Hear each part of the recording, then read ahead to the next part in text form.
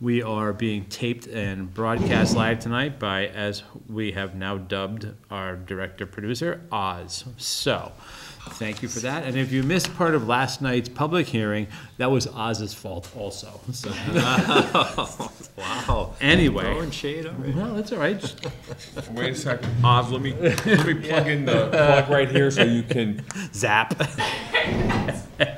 nah, you can take care of All it. right. Uh, Tonight, we have two- uh, only two orders of business. Both of them are interviews. Uh, They're both interviews for the town administrator's position.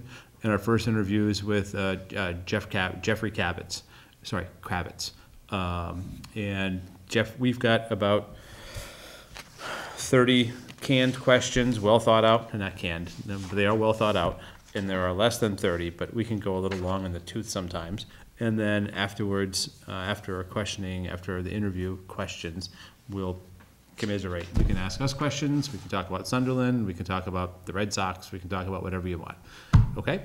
But we have uh, an interview directly thereafter, so we're gonna keep it in a sixty-minute window. Brilliant. Okay.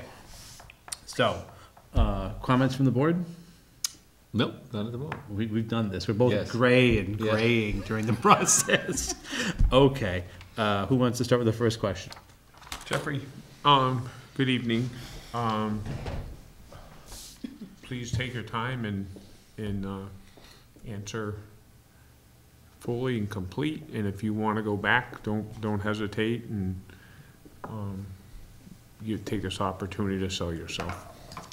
S- tell- Please tell us why you're interested in this position. Sure. So the longer answer is I have always been interested in government work. Um, I, I got my undergraduate degree in computer science and graduated in 2002, right after the internet bubble burst, and it had really. You'll find that uh, my timing as far as graduating from school is not ideal. Um, that, that was the first thing. Um, and so I, I was building websites and really feeling unfulfilled, and so wanted to find a more fulfilling sort of career path. And wound up working for a think tank. Decided I wanted to get into uh, government, and somebody said, "Well, you should go to law school because if you at least that way, if you get into government, you decide you don't like it, you'll have a law degree to fall back on and, and a career." I thought that was a good idea, and I graduated law school in 2009 when there were no jobs for anybody, much less lawyers. Um, was fortunate enough to, to get a job for the Staten Island Chamber of Commerce as their government affairs director. It was the closest thing I could uh, find to, to government work. And um, from there, wound up working uh, for Governor Deval Patrick uh, for two years in housing and economic development. Um, and then with the transition in, in the governor's office, um, worked for Mass IT for a year, and then found my way back to Amherst, which is my hometown. Um, you know, I've always wanted to come back to the valley, and you know, Sunderland in particular. I think that there are several things. You know, I, I've done my research, and, and what I found about Sunderland is it, it seems to be a community that really cares about its neighbors and, and uh, residents, and, and not just the public boards, but each other. And it seems like when there's a, a particular issue or initiative, it, it's a, a positive thing. The people who support it come together, and um, they're generally is it, they, they consider how it impacts other people, but um, you know there isn't a whole lot of opposition unless there's there's really a reason to have opposition for it, and, and I feel like that's a that's a really great community. Um, and the other thing was sort of looking at the select board or board of selectmen and, and how you operate and how um, you know you are thoughtful. And certainly I think people come into any issue with preconceived notions or, or an idea of where they're going to come out. Um, but you know having looked at, at your decision making process really you know the open-mindedness and, and the willingness to say I think I'm right but you know I, I'm willing to be convinced otherwise and I think that you know, those two things, the, the feeling of community and open-mindedness are sort of what really interested me in, in this position. Thank you, Geoffrey.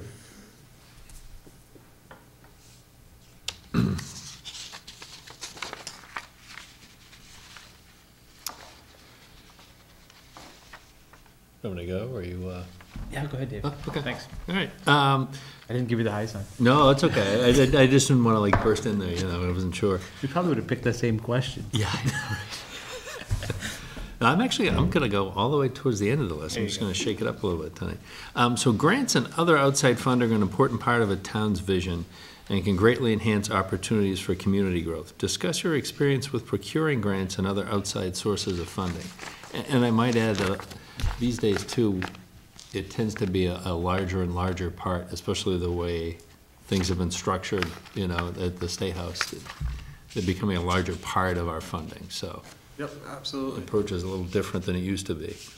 Yeah, so I, I- I'll answer your question and then I'll expand a little bit if that's Yeah, all right. that's- But, sure. um, I think the two, two grants that I've, uh, applied for, um, one just submitted, um, the, for the Amherst Center Cultural District. Every year, the Mass Cultural Council, uh, offers, or so far has been offering about five thousand dollars uh, to cultural districts for cultural programming, um, advertising, events, that type of thing.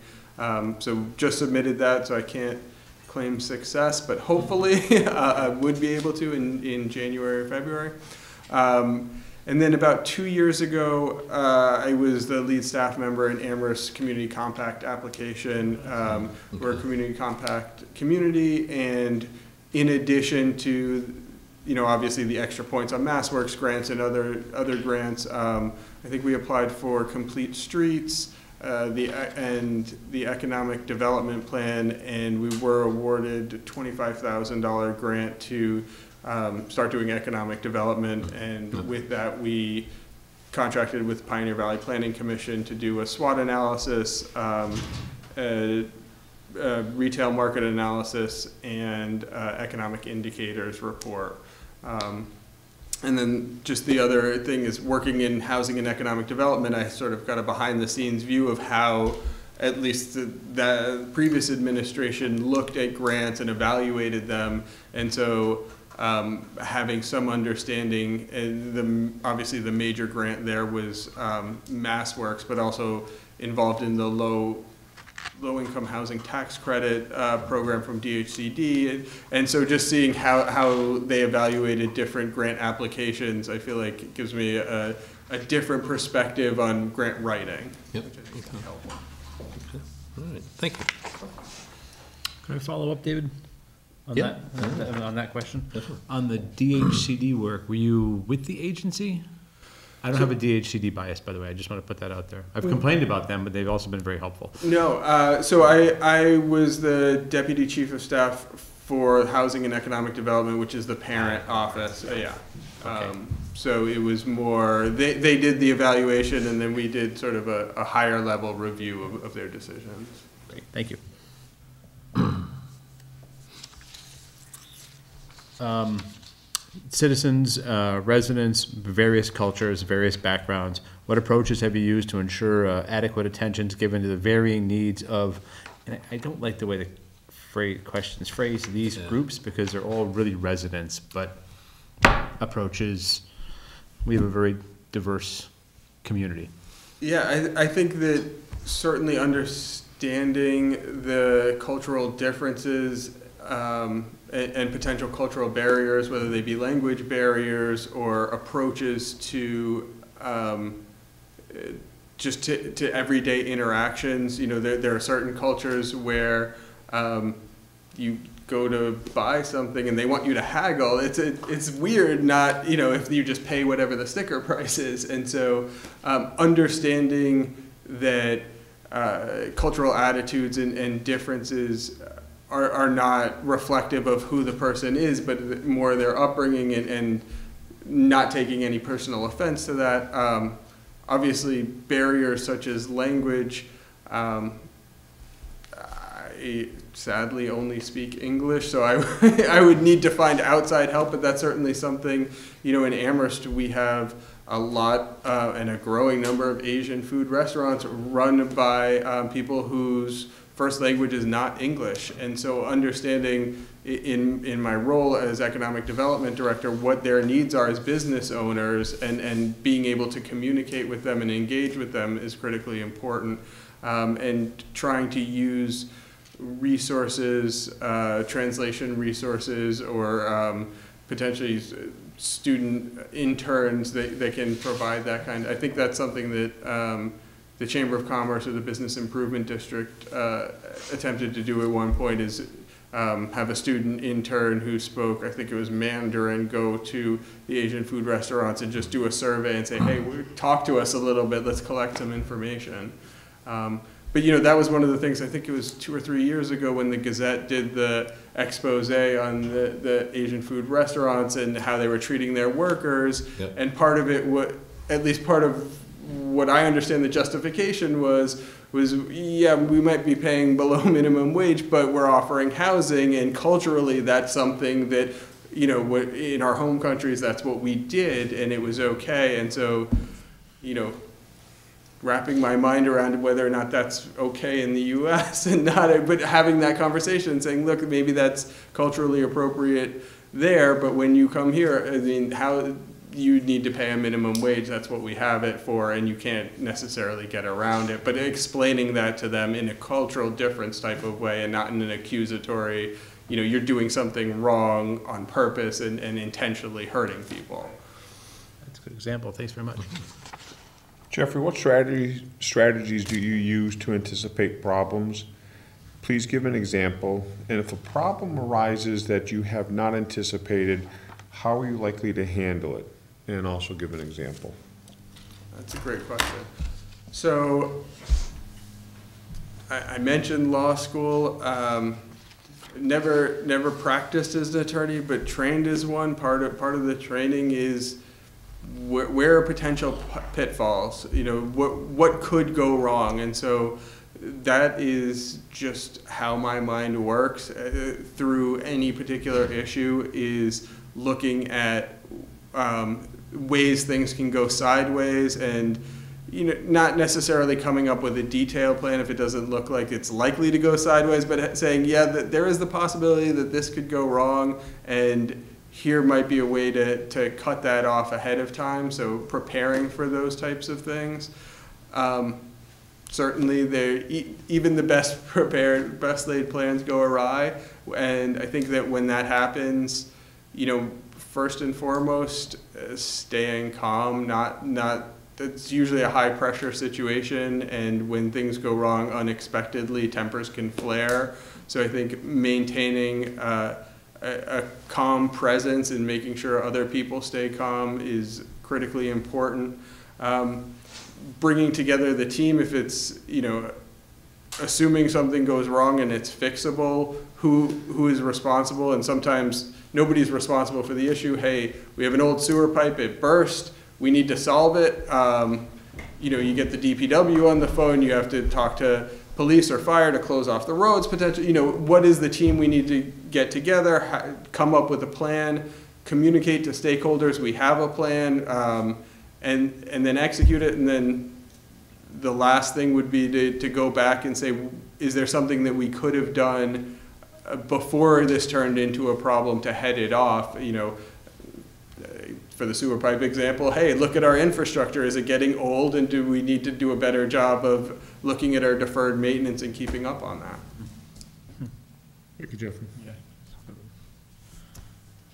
Um, Please describe how your previous work experience has prepared you for this position. You can, you know, if there's any particular thing that stands out, or currently, you know, what's going on over in Amherst.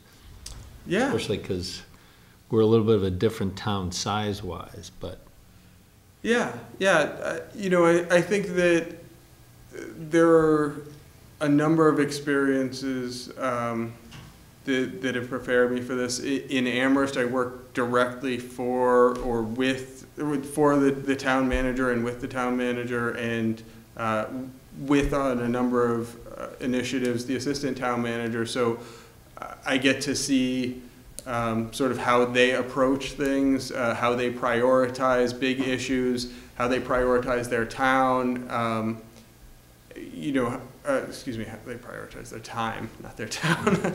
um, and so I think that that is certainly one. Um, working for state government, I think, has also prepared me in that, you know, working in Governor Patrick's office, I was Deputy Director of Cabinet Affairs, which managed, you know, I was responsible for um, coordination with the uh, Secret, Education Secretariat, um, the Public Safety and Security Secretariat, and um, I think the Health and Human Services Secretary. So broad range of issues uh, and not necessarily having a lot of in-depth knowledge and having to sort of uh, learn on the fly and do my best to trust but verify the experts in the field. Um, you know, I think that I'm never gonna, you know,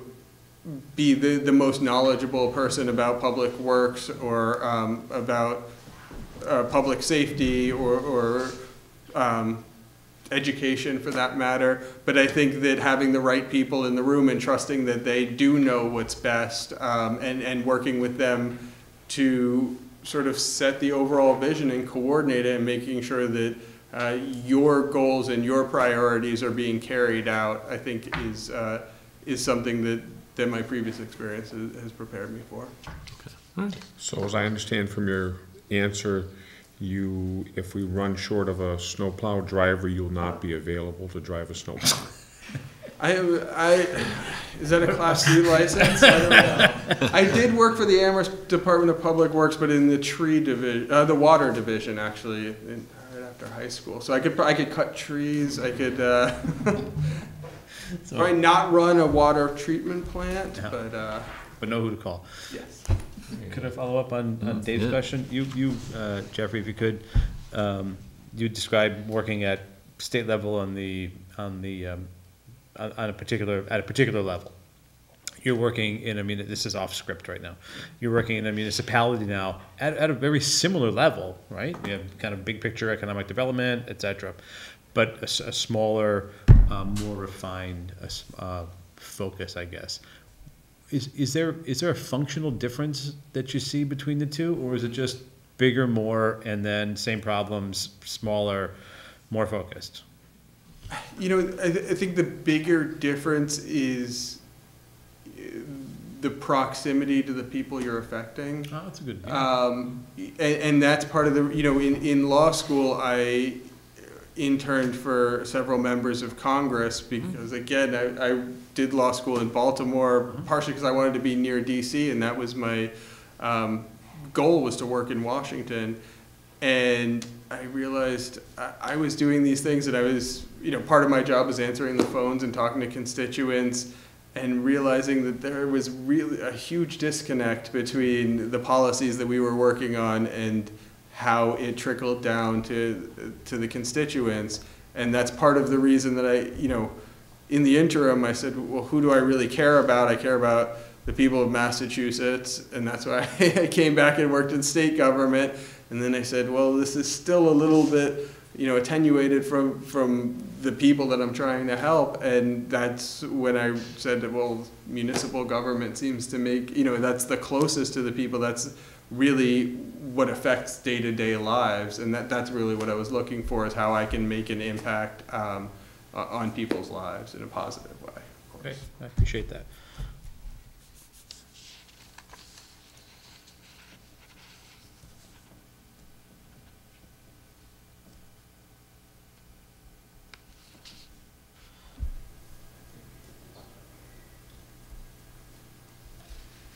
I think we kind of touched on that one already. Okay, so we talked about the last number of years, uh, three professional goals for the next five to ten years. PhD from MIT in chemistry. No, no. On a top on top of the full time. Yeah, on top of the full-time job, exactly, and ra- raising a family. Um, I, I think that one one is certainly to broaden my municipal experience um, and experience in government. I think that you know some of the things that I've worked on in Amherst I didn't expect to work on when I took the job, and um, you know, one example is local implementation of legalized cannabis and adult use cannabis. I, that was not on my radar.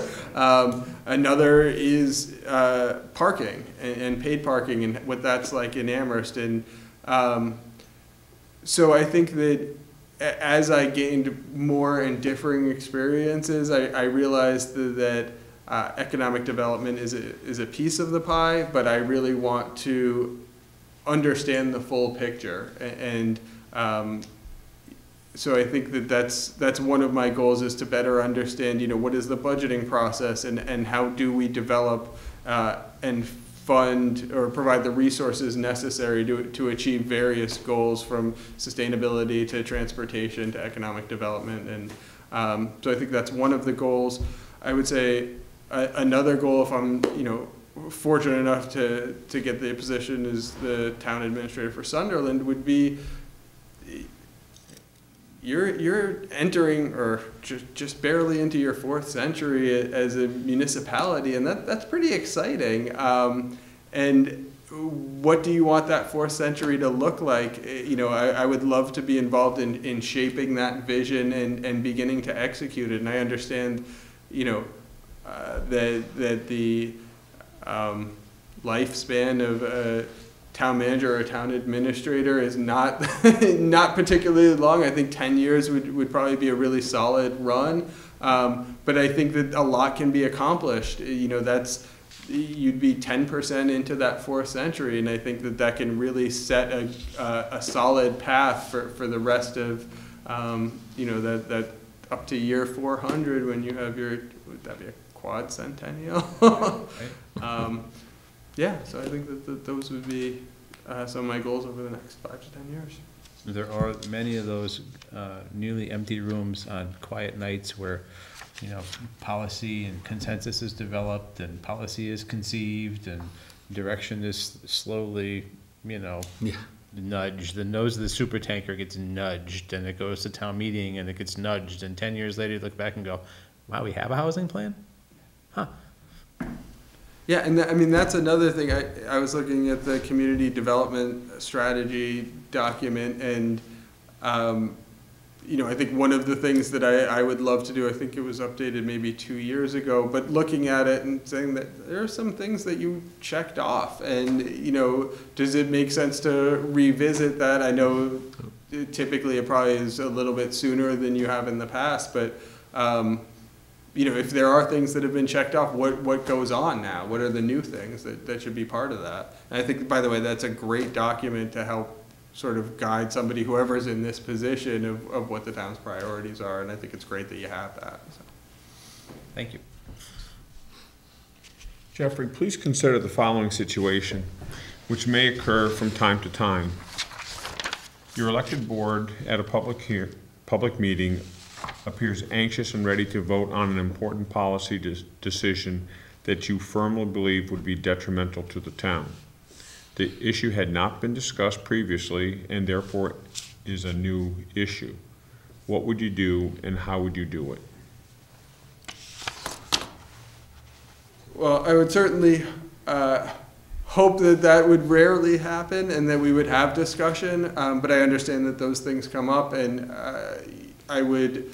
Um, I think that what I would try to understand is the need to move quickly and to vote that night, and why it is, uh, whether or not it can be postponed to the following meeting, um, so that there is time for discussion, and I could potentially do uh, some research and, and come, uh, I assume the elected board would be you all, come to you and, and explain my position and why I disagree. Um, and ultimately, if you, if I'm not able to convince you that, that I'm right, you know, my job is, is to execute and you, and you vote and, uh, you know, I, I would present my best case, but, um, you are the elected officials and, and the, um, the, the body responsible for making those decisions, and, and so I would respect that, but, uh, you know, would hope that, that if it was not an emergency to vote that night, that there would be time to, to have a discussion, um, and to, to better understand where you're coming from and potentially hear uh, why I might disagree. In fact, I think if you look in our policy and procedure someplace, it doesn't really allow us to vote I was gonna say, yeah. Well, not to say that we have to follow policy and procedure, but We are a bunch of Can hotheads. suspend those. Yeah. Yeah, To Tom's point, that is one. If something does come in the day of the show, doesn't make the agenda. You know, so, I don't think that's ever happened that I know as I've of. said before. unless it's, yeah, unless it's a pay raise for us. Why would I not support that? I- Interesting. Thank you, Jeff. Um, so, okay, we've reviewed your, bleh. try that again. It's been a long Word day. salad. So we've looked at your resume and everything, but, um, um, you know, so we can obviously see what's on paper there, but tell us a little bit more about your, um, self, your professional and personal interests and things like that, just to give us a, a, a little fuller picture of, like, what do you do and you've checked out for the day and your wife has gone out with your son or something like that, or, you know, so you have a little, little time to yourself, Yeah, uh, or with your family, you know. I mean, it, so I think with the family, one of the things we've really been enjoying um, is going hiking. I grew up as a ski racer, um, both at Berkshire East and in Vermont on the weekends. So getting my kids into skiing, the five-year-old is already skiing black diamonds, and the, the You're fear- two-year-old You're fearless then. Yeah, Yeah, exactly, that's the time to get on to do it, until he falls and breaks something. yeah. Um, the, excited to get the two-year-old out there. Um, so I think you know, a skiing outdoor activity. Um, that's another reason that I'm interested in Sunderland is is the boat launch and the river walk. I think are going to be um, really exciting things. And and even if I'm, you know. Not the town administrator. I'm hoping that we're going to take advantage of it as nearby residents. Um, so I, I guess that's you know this time of year, Sunday afternoon, I'll probably be watching the Patriots game. Uh, you know, uh, I, I like hockey. Baseball's tough for me, um, but you know, I, I think that I think friends and family uh, and yeah, pretty much, you know. Um, skiing and, and outdoor activities are sort of what, what we like to do to unwind, although I'd imagine that I'm entering that stage of parenthood where the kids are going to start driving how my free time gets spent. Um, but, you know, I, I think that that's the, you know, growing up and, and my parent, I grew up in Amherst. My parents still live there. We would take ski trips out west, so that's always been, you know, being in the mountains, whether it's in summer or fall hiking or, or skiing in the winter, is um, really what I enjoy doing. And you know, I, if it's been a long day, vegging out in front of the TV, it Yeah. just to unwind um, is, is certainly not unheard of in our household either. Right. Okay, thanks. Pivot back to the workplace. Uh, Can you, can you provide an example of some creative problem solving from your past work history? Something that came up or you anticipate, whatever, whatever it is, that's the question. Yeah, absolutely. So I think a, a good example of creative problem solving would probably be uh, the the process that that we developed in Amherst for making recommendations to the town manager whether or not to sign host community agreements for uh, retail cannabis dispensaries. Um, and you know, originally we sort of proposed a slower, you know, the law said if, if you have medical, they, you can't stop them from converting. So the original proposal was very non-creative and it was, we'll just let those convert and if they want to do uh, adult use sales.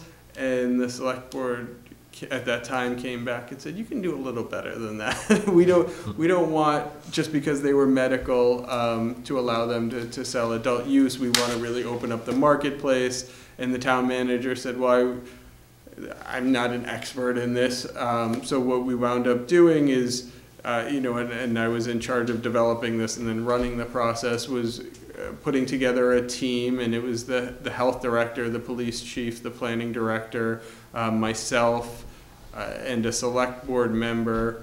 And we would evaluate, uh, it was sort of an RFP-like process where we asked them to submit a bunch of material. We'd look at it, uh, look at the location, make sure it was okay with zoning, um, invite them to have a community outreach meeting, and then actually meet with the team so we could talk about things that might be sensitive in a public meeting, such as security requirements, and um, really say, hey, this is your chance to impress us. What's unique about you? What, what are you going to bring to Amherst other than a business and tax dollars? And um, how, how are you going to benefit the community and really sort of uh, push those groups to, to raise the level of their game and, and what they're offering? Um, and I think ultimately it was pretty successful. Um, in the first round, we recommended a host community agreement with one of the larger multi-state operators, which is open uh, down the street, Rise. Um, we signed a host community agreement with a fairly local um, Pioneer Valley operated company, Mass Alternative Care, that has their uh, facilities in Chicopee um, and are moving through the process of a retail establishment in Amherst. And then the third was a women, woman veteran minority owned business. Um, and so I think that we, we got a wide variety, being unsure of how successful local small would be versus national. And so um, figured we'd sort of run the gamut. And I think that was a, a pretty successful model.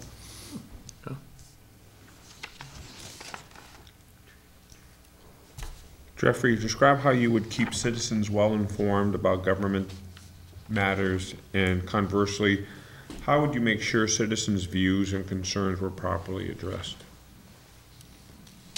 Great questions. Um, I think that uh, to answer the first question, I think that there, there are two approaches depending on how large uh, the issue is. If there's something that's um, particularly expensive or a big policy issue, you know, my tendency would be to uh, try and advertise big meetings, get people together in a forum or a charrette to talk about what it is and, and get community input and ideally have more than one. Uh, one of the things that I've experienced is there's no perfect time of day where everybody is available and it's convenient.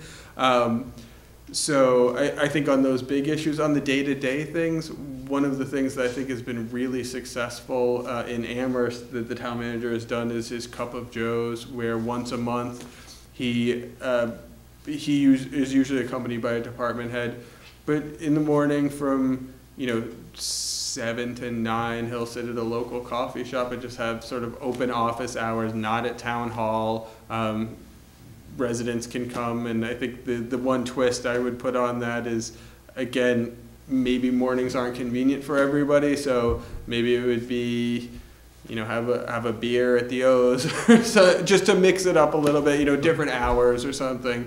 Um, but try to have those open interactions and, and going out to the public, not necessarily um, always having them come here to, to talk to me.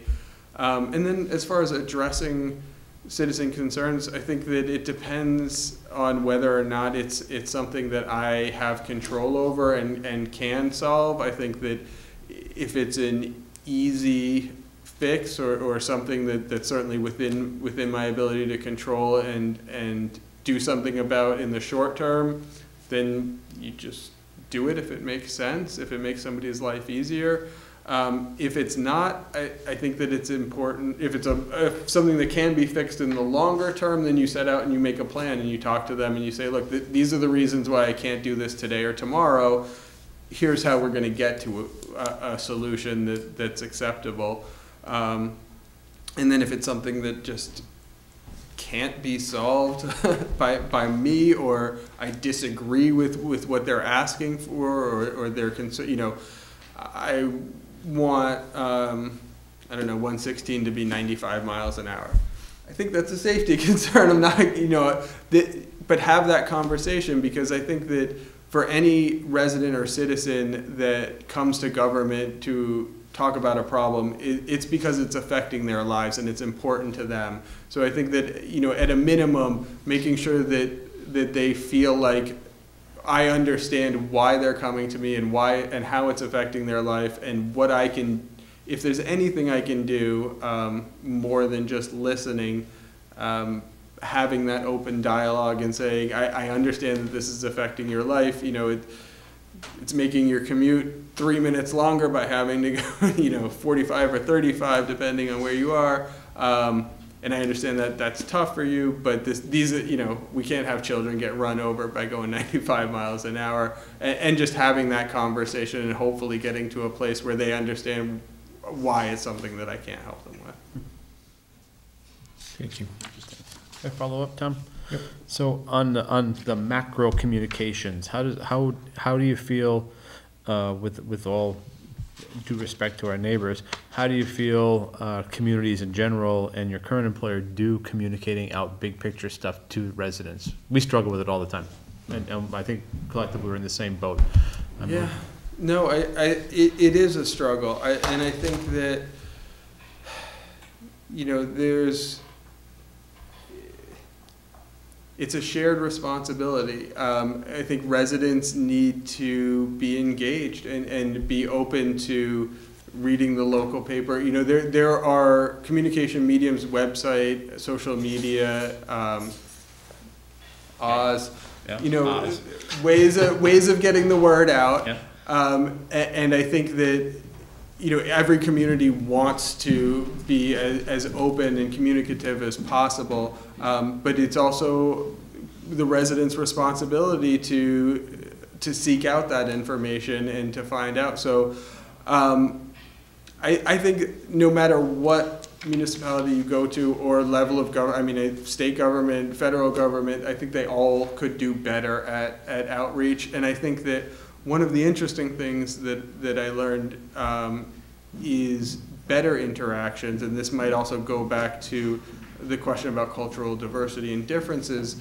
Uh, there's a professor at UMass who is developing technologies to have better public meetings, and um, we actually used that at one of our parking, where we tried to pilot it at one of our parking meetings, and, you know, it was just a clicker, and I think it was, there would be three options, and throughout the meeting, if there's something that you agreed with, you know, you did, you click A, and if you disagree, you click B, and if you didn't understand, you click C, and then they would record the meeting, and they would sync up the audio and have a transcription, and then you could see, you know, what was that, what were they talking about, and how many people in the room agreed with that particular point. Um, and the idea was there are some people either because they don't feel comfortable talking in crowds or um, they don't feel comfortable speaking in English, uh, actually saying that they agree with something, they, they'd be more comfortable to communicate uh, via clicker. So I think that being aware of new mediums to help engage people and, and communicate with them and, and make sure that they understand and, and gather that feedback is, is important. Um, but we, yeah, we can always do better. Yeah, Something that we, I, I, I speak for myself as, as a member of the board, but communication is, you know, we try it from four or five different angles, four or five different approaches, and invariably there's still, I didn't know that. Yeah, It's so tough. yeah. Thank you. Okay, describe an ethical dilemma you face in the workplace. How was it resolved? What was your role in the resolution? What, if anything, would you do differently if you were faced with the same issue again? Ethical dilemma. Um, that is a good question. So, so, I, You took the town manager's parking spot. Yeah. So, as I, as I mentioned, I, I have a degree in computer science and I built websites for a number of years. And um, my sincere hope is that somebody watches this at the state and, and uh, fixes this problem. So, You heard that, as I'm sure you're, you're familiar, um, there is an ethics, you know, training that, that um, uh, employees and officials have to take. And I discovered that the end at the end of it, it's a website and it's encoded in HTML. And so, this certificate that you get at the end, you copy the HTML and you change the date, and you just got your certificate for the next year, or the next year, or the next year. And I, you know, I brought that to their attention, and uh, so the resolving it was I didn't actually do change it. I, t- I keep taking the, the training, but you know, it's.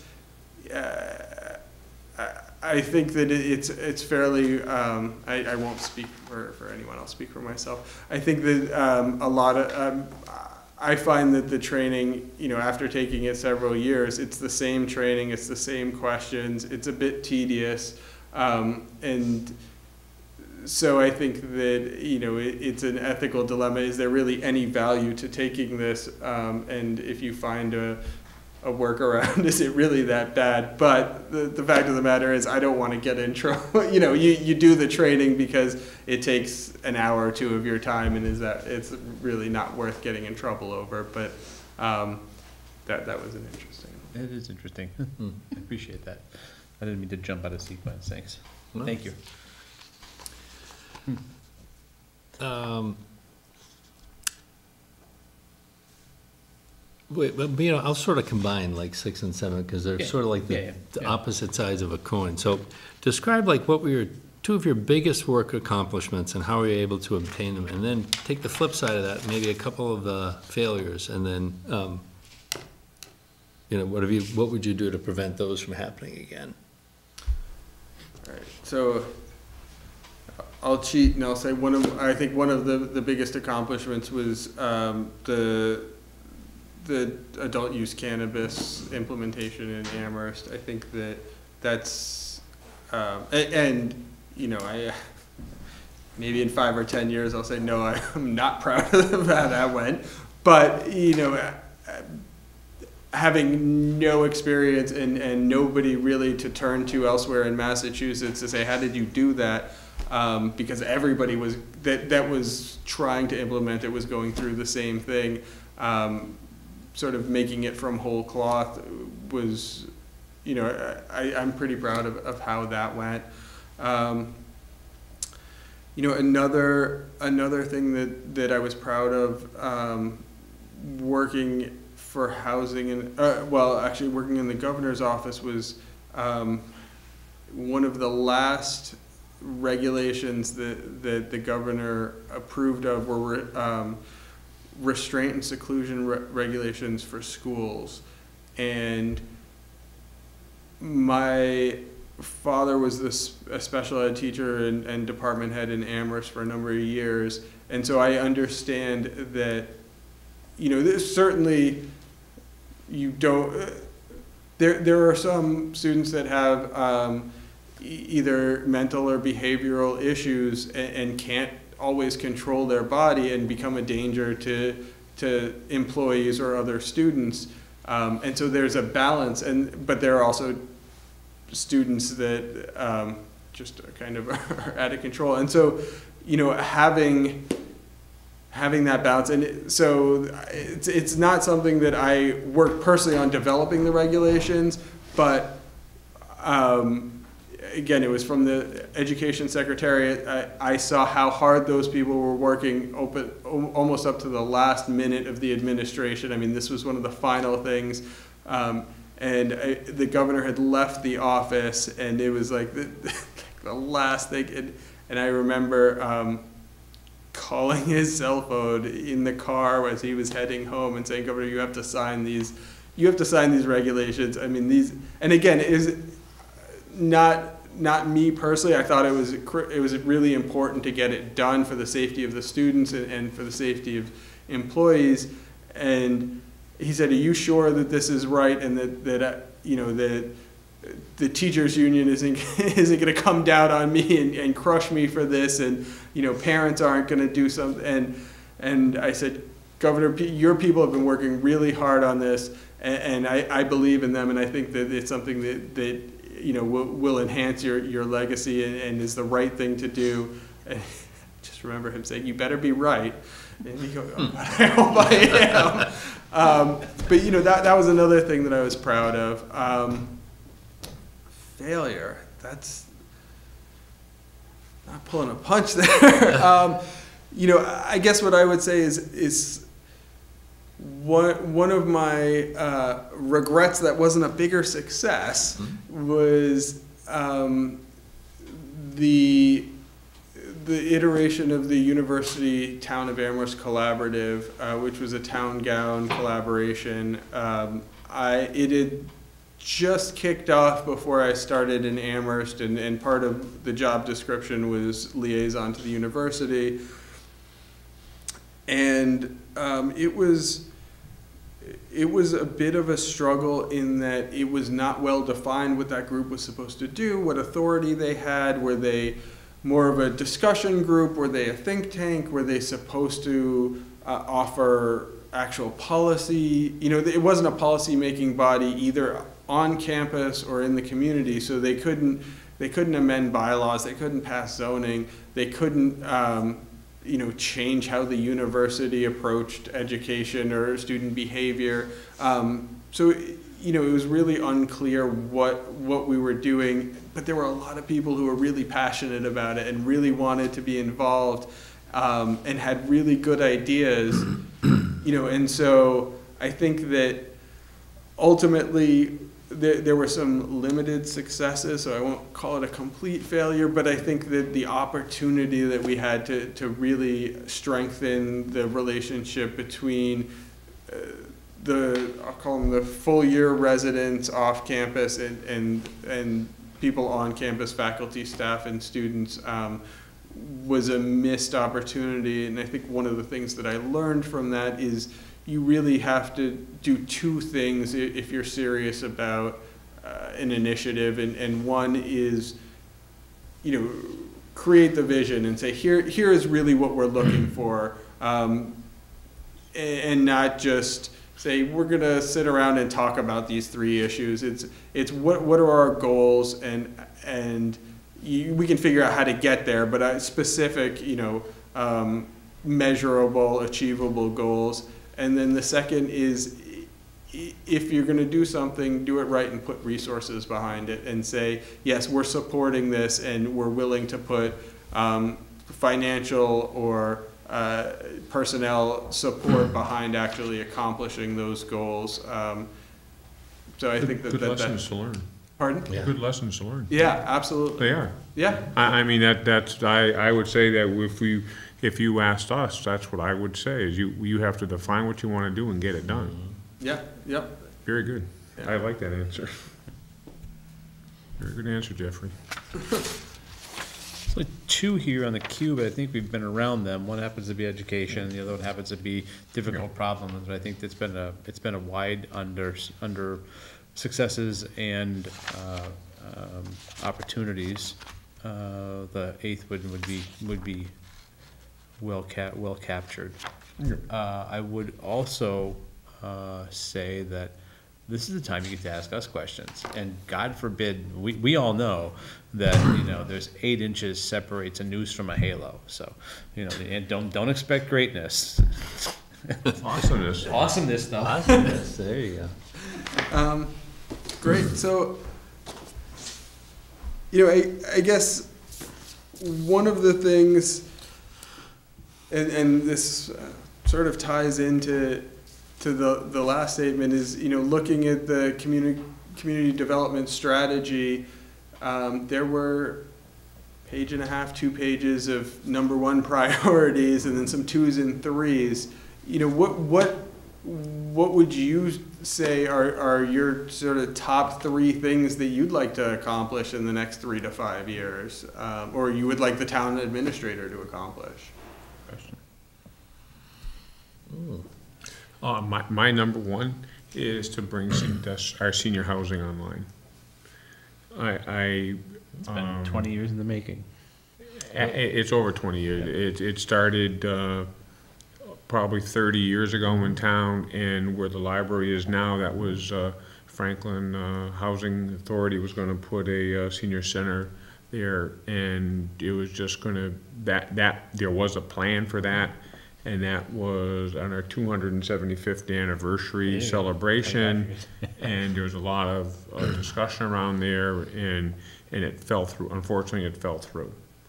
Um, and now we've bought, we've bought the property, we've, we've working with RDI, we've, we've gone through the zoning, we've gone through the conservation, we've gone through the DEP, we've gone through, um, negotiations and, and I, I think we're back on, on, on track.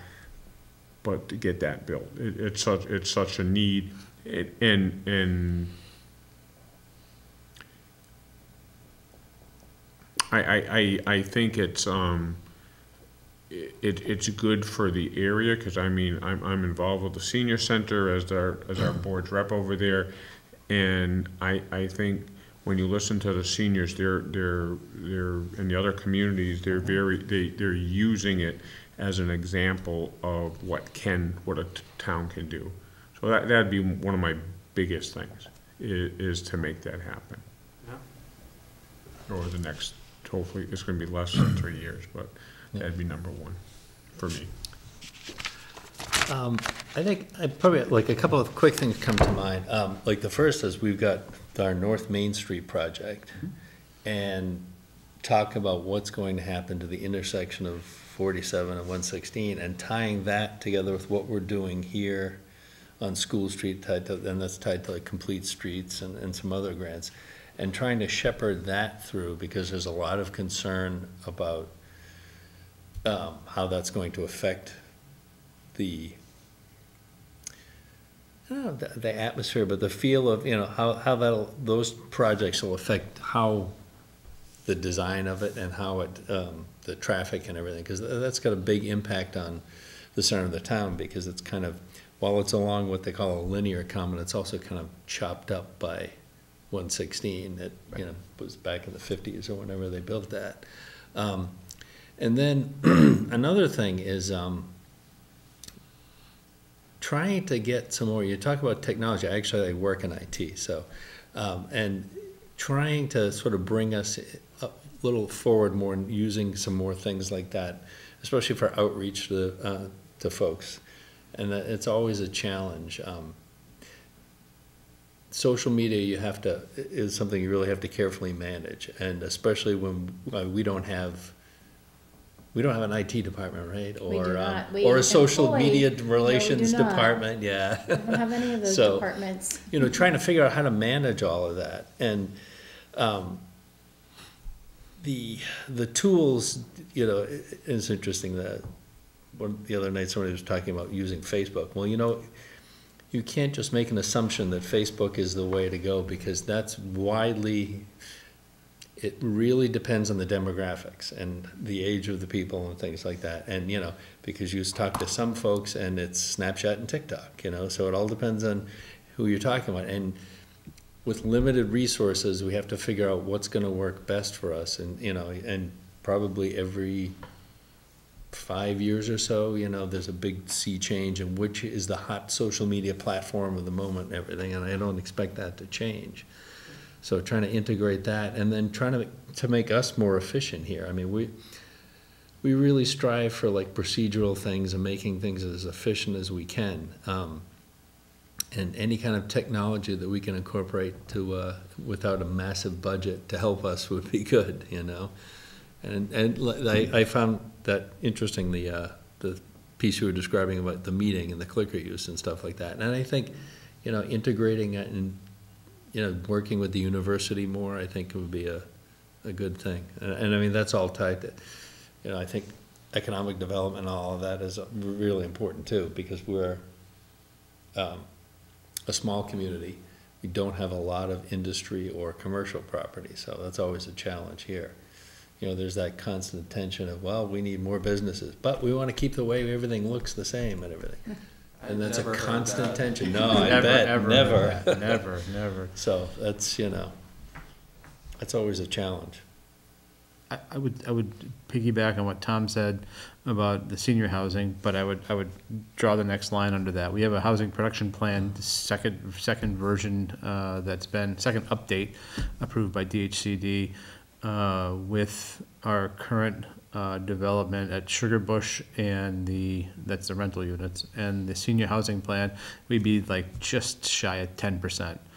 We have a housing production plan uh, in place and executing that plan, finding partners to help execute that plan for our housing production units over the next decade is going to be helpful. We're in the process of completing a resiliency plan with a, with a FRCOG, uh, natural hazard mitigation. That's going to be an important thing to get wrapped up, put a bow on it, and, and take those steps. I would also say that in the last three years, we've developed a ten to thirty-year capital plan for our building assets.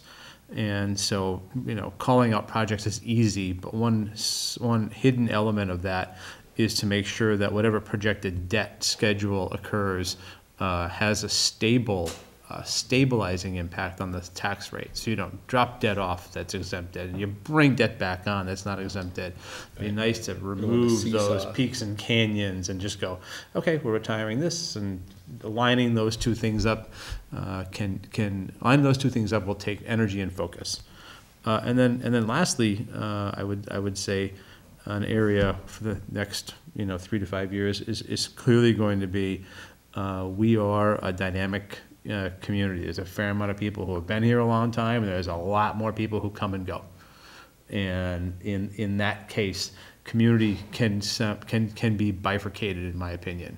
And that, that is, um, that's always a challenge.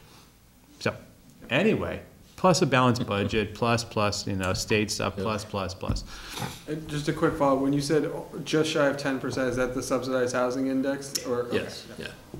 We have a lot of apartments, but because they're not protected. Under, a- and you, you're also open to an unfriendly forty B We're open to fighting friendly, unfriendly forty Bs. We like friendly forty Bs. We have an unfriendly forty B, as you might categorize that. Correct. I, yeah, I know that's not the, Yes, it's but the, yep. Well, well, no, I- well, see, but I, I don't, it's a Not- tough not- explanation, because we, Yeah. we, we actually, in, in, in, in our three hundredth parade, we had, we were talking to, uh, the, uh, Board of Selectmen at the time, they had marched in the parade, and said, well, you know, you guys shouldn't have, you shouldn't have, uh, you know, fought that forty B. And it's like, well, they never gave us a chance. And, and what do you mean? And, and you know, everything that we talked about for thirteen, we talked about 13, 14, 15 years. And, and from the very day that the, the project first walked in, they said, well, the planning board wouldn't talk to them. You know, we had Dana Roscoe and, and at the time Russ Crenshaw, two, two of the nicest people that I know of. Um, and, and, and I said, well, and I talked to him, I said, well, they said they wouldn't talk to me. He says, Tom, they came in, they wouldn't give us any plans, they just, they just, and, and we just asked them, give us a plan to talk about what they wanna do, but they won't put anything on paper. And you know, to this day, Geoffrey, that, um, things that, if you look at the traffic plan, the traffic plan mm-hmm. says that they, they expected sixty-five cars to use Yeah. that facility. 130 units, right? Hundred and Yes. fifty. 125, 150, 150. okay? And, and, but that, but beyond that, now they're renting out not apartment, you know, one bedroom, two bedroom, but they're renting out bedrooms. So there's like 345 Occupants. bedrooms. And, and, and it's like, and then we said, well, the way you're designing it is, looks like it's gonna be, to us, like it's gonna be student housing. Oh, no, no, no, no. Tom, these are young professionals, but, and if you look at their advertising today and how they're putting the bedrooms for, you know, for rent, they're, they're looking for students. And then there was a concern about water, then there was a concern about sewer. And as they're going on, they're discussing those things with us now. So there was never an opportunity to sit down and have a total discussion. And so, uh, to, can I summarize, is it correct to say that you would hope to get to the ten percent threshold so that you could have those conversations? It's not that you're opposed to the projects, but you wanna have the conversations. Actually, Right. That's a great answer, and concurrently, while that development is being uh, had, we're using the friendly forty B format for the developing of senior housing, with the full support of the town. Exactly. So, and, So and it's, it's like, it's like, so, And so the which one, developer. which one, you know, I- I have, I have a really small high horse to get on on occasion, but I, I can do it. So when we went to the DHCD and said, so we've got fifty-one percent of our, uh, housing stock is in rentals, and our first forty B project is a project that's gonna increase our housing stock by nine point two percent, and it's rentals. How creative is that, Well, as opposed to first-time home buyers, or senior, or owner occupied? How creative is that? I said, well, you don't have ten percent, that was the answer. And I get It's it, purely I, I completely numbers, get it. So, yeah, are we, is there tension between friendly and not? Absolutely. It doesn't have to be. Right. Doesn't have to be, and, and, and, and, but basically, we were pushed, put in a position where we couldn't have that discussion. Right. Yeah, I think what you said is And, really and the important. discussion, and, the- and, the- and the discussion was never held. Right. I mean, when, when, we, we, I mean, I, I went to a lot of the zoning board hearings and questions that came up in the zoning board, that, that the zoning board, they were never, they were never answered, and they're still, they're, and they're being developed as, we- as, as, as it's on, on the, on the, on the fly. Right. I think they could have probably had, and we said, well, you, you need to stop and look at our project in Belchertown, it's gorgeous, and it's like, look, okay, that you did that in Belchertown, but let's, let's talk Talk about about what you're, what, right. what you're trying to do. Right. And we never, we never were able to have that conversation. And, and, and anytime we tried to have that conversation, it, it never happened, so. And it's a, it's a powerful tool that can, can really create good. Yeah, no, absolutely. So anyway, that's, we have a housing, uh, production plan, that's, that's another piece Yeah. for that first set of years. Okay, anything else? Uh, how, how are we on time? I got two, it, but I Fire can do quick. Um, the, the quick question is, just sort of looking at the fiscal year nineteen budget proposal at least, um, the, the telecommunications committee budget? Yep. What, um, I think went from a couple thousand to like fifty, and I didn't get, have time to dig in, and I was just curious, that huge, Oz? Yeah, so it's Oz, right? It's all Oz. So what, what happened was there's this accounting, accounting, we, we, Oz runs through the, um, host license agreement. So Comcast money pays for Oz.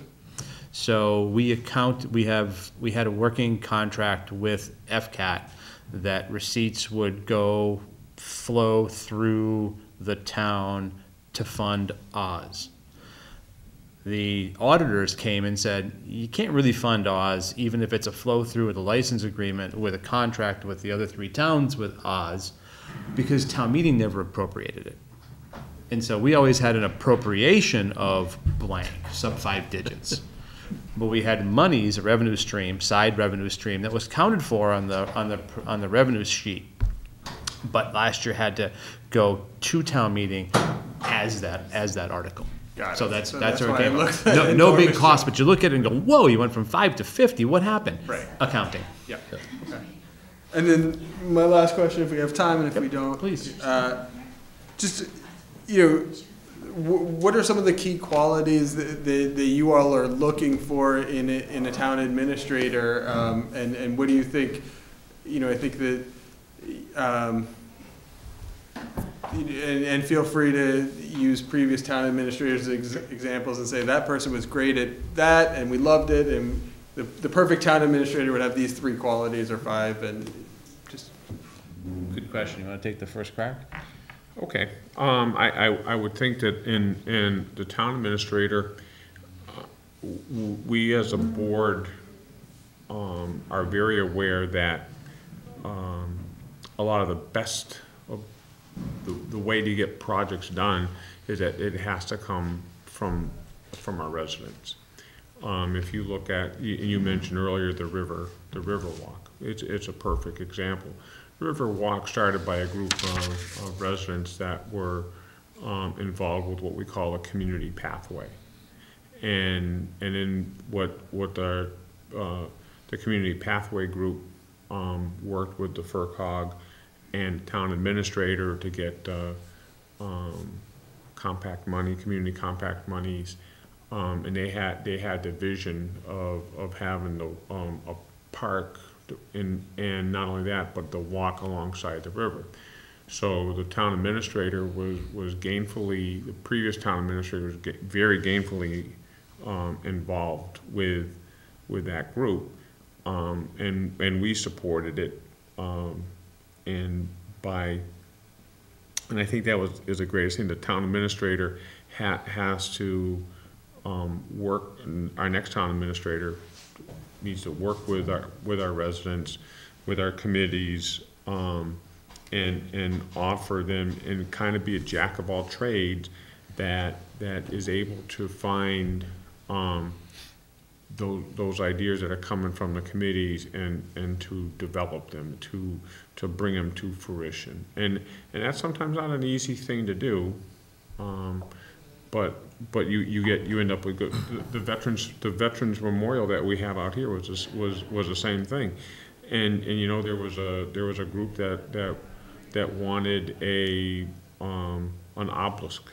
Um, and then, and then we had residents that said, well, maybe we can do something different. We ended up holding a, uh, Jury selection. uh, a a jury selection that we had, I mean, I think we had, what, 60, 60 designs that were originally submitted on paper, and then, then they, then the town residents chose 10, and those 10 uh, went to the modeling stage, and, and then, I I mean, it was, but, it, it, and, and and were commended for the, the, the, um, for the Veterans Final Memorial. product, right? But it was really, it was really our residents that made, made it happen. I mean, we had the thing set up in Fellowship Hall, we had designs, people are coming in here and they're voting and, but, but it was, it was about allowing the, the residents to do it. Selectmen, selectmen can lead, um, and, and some, and, and sometimes we have to say stupid stuff to make, to make people get all up in arms and, and, and just, and, and you can look at the, the blue heron. Blue heron, why we have the blue heron today is because we, the Board of Selectmen at one point had, we had a committee that was supposed to do something, and finally the Board of Selectmen said, look, you have six months or we're gonna tear it down. It was unpopular, um, but that group, look what we have. We have one of the finest restaurants in Massachusetts, and, and our, and we could bring people from all over the country that, it, there's weddings there on a, on a weekly occurrence, people, you look at the parking lot over there, it, New York, New Jersey, Connecticut, from all over the place. To to follow up on that, the feedback a board or a town administrator gets is, you know, you guys or gals did that, right? So we had probably twenty-three to twenty-eight thousand dollars a year as an appropriation, just to keep that building from being taken back by nature, right? Because that's what, no, was nobody using it. Keep it heated, do basic repairs, et cetera, et cetera. The year that it pivoted, of course, it's not on the tax rate, the year that it pivoted, a very, a very modest tip to uh, the Blue Heron for less, less than ten years and less than the ten percent. Uh, wound that down. The very first year it pivoted, it pivoted to, you know, a, a straight property tax input of in the mid forties. And then personal property on top of that because of all the kitchen equipment. So the delta was, you know, a cost of blank and uh, versus a plus up. A decade passes and the resident says, you guys sold that for a dollar. But again, that's, that's, that's the kind of, that's the noose to the halo, that whole eight-inch spread I was referring to earlier, right? That's just the way it is. And I would say just real quick, two things, shepherding and listening. I was gonna pivot on to listening as well. Listening, and responding with empathy, maintaining people's self-esteem, asking for help and encouraging involvement, and then just recognizing. And if you, and if you ask the town administrators that we've had in the past, none of them had all, all of those individually Right. had, had all of that. Right. They came close. Some, and, and each one, each one, in my opinion, each one left their mark on their town. Yep. Each one were thankful that was spent their time in this town, and they did great, they, they did, they did great things. But they all didn't, I mean, we had one that was a financial, she loved the finances. We had one that was a people person, and, and we had, and we had, um, our, our, one of our first town administrators, he was just a steady hand that we need. You know, made sure that we, made sure that we had the, uh, the assessors were doing their job right, and making, and it, he was a, a bureaucrat. That's a good word, not a bad word. Great. He was, he was described at one point by town council, as he doesn't just know where, you know, who's under the rocks, he knows where the rocks are. Like, it was just that, you know, oh, okay. But, but, e- but each has put us in a better position. Correct. And, and, and, and, and they laid the, gr- they laid the ground, each one laid the groundwork for the next person that goes there. They have And to make it a little bit succeed. easier, or tougher. And I, I'm gonna take just one second of advantage to what you started with, Tom, which was, feel free to go back. Um, when you mentioned FRCOG, I think that, that was, one of the questions was from my past experience, what could I bring to this? And I think that it, the relationships that I've built, um, you know, over the past four years in Amherst with UMass, PV, uh, Pioneer Valley Planning Commission, um, the Franklin Regional Council of Governments, the, you know, um, Mass Municipal Association, I think that I, I would bring all of those strong relationships, you know, to the position here as well, and I think that that's, um, something that I should have mentioned earlier, and hopefully, didn't wanna pass up the opportunity to mention it, so. Excellent. Thank you, Geoffrey. Thanks, appreciate your It's time. been a nice conversation, I appreciate, Yes, thank you appreciate the very much for inviting me in. Thank you. Pleasure to meet you. Hey, Dave. Yeah. Nice meeting you too. Thank you. What do you think, Sarah, how are you? Good, how are you? I'm well, thank you. So a couple of items, I'm Scott, so nice to meet you. Nice to meet you. Tom and David, uh, a couple of items. We are in open session, as you know. Yes, And uh, we are also uh, being filmed and being broadcast by Oz back there, uh, or FCAT. So for the four communities, not gonna be able to live that one down now. Uh, So this is, we're for community, community access television, okay? So if you wanna watch it tomorrow on YouTube, you can do that. Okay, So our process, our process, our process was, of course, applicate broad, was to, um, um, send out notice to accept applications, to have our personnel committee, uh, screen those applications for qualifications, and then, uh, send to us. We didn't use a screening committee on this particular, uh, town administrator search, um, only in that we've done it a couple of times, and we're doing our level best to stay out of trouble, so we thought it'd expedite the process. okay. Okay, so we've got about fifteen questions and another extra fifteen minutes of random conversation for the sake of it, it seems. I used to say hundred and thirty questions. People are like, what? You already told me you're on TV, plus hundred and thirty questions. Anyway, don't worry, it's, it's all gonna be, it's all gonna be good. Um, So we've gone over your resume and, uh, let us, let me know if you could, and I'll take the first one here. How has your previous work experience prepared you for uh, this position?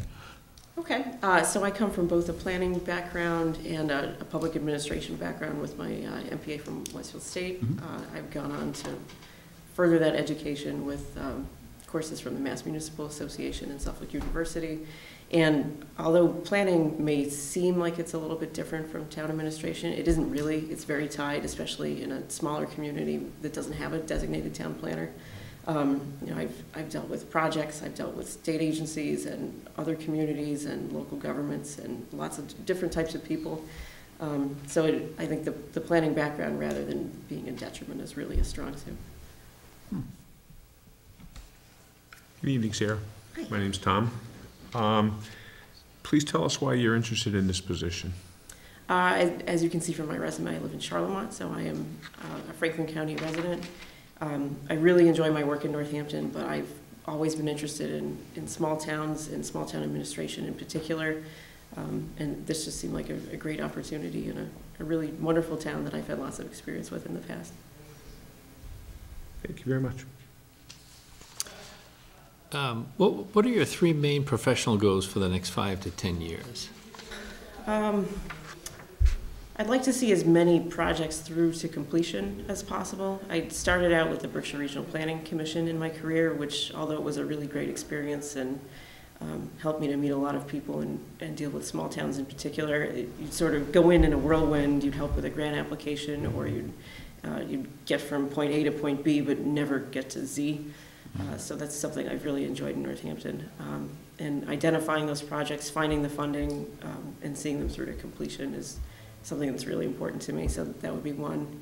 Um, Just um, meeting as many people as, as possible in, a- in a new town and, and getting things done. And I guess just, just branching out and getting to do some things that I haven't really gotten to do in the past. Okay. Thank you. Well, we certainly have a community that has no problem bringing themselves to the office. Yeah. And that, that's a That's good true. thing. And- And usually with uh, great respect, uh, uh, as, as residents go. um, I'll say this because we're on TV and they all hear me anyway. um, You know, we're, we're, uh, we're a town, we're a town full of real pros. They're just good people.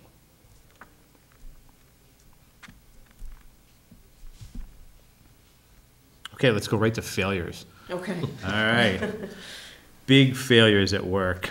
Uh, why'd they occur? What, what would you have done to prevent them from occurring? What have you done to prevent them from reoccurring, excuse me?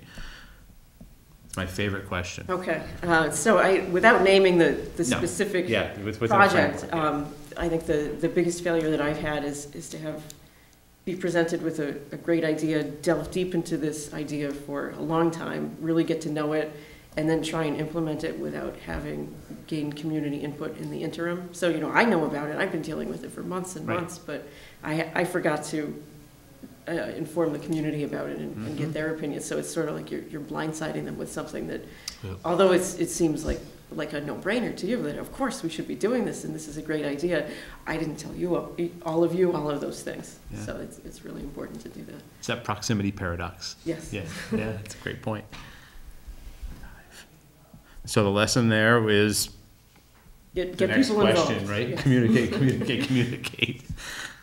Okay.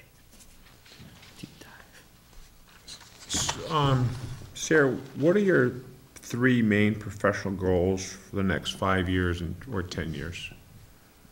We did that one. Yeah. Yep. Yeah. I can give you more. Um, what are your biggest work-related accomplishments and what were you able to attain them?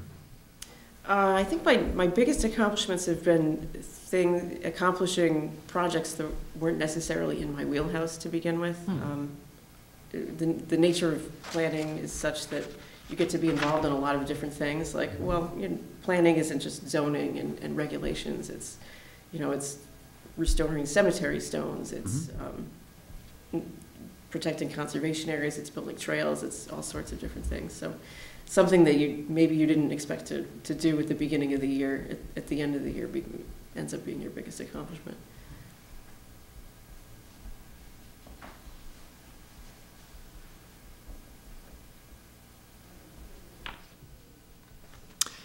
Um, What strategies do you use to anticipate problems? Provide an example, and if a problem arises that you haven't anticipated, how would you likely handle it?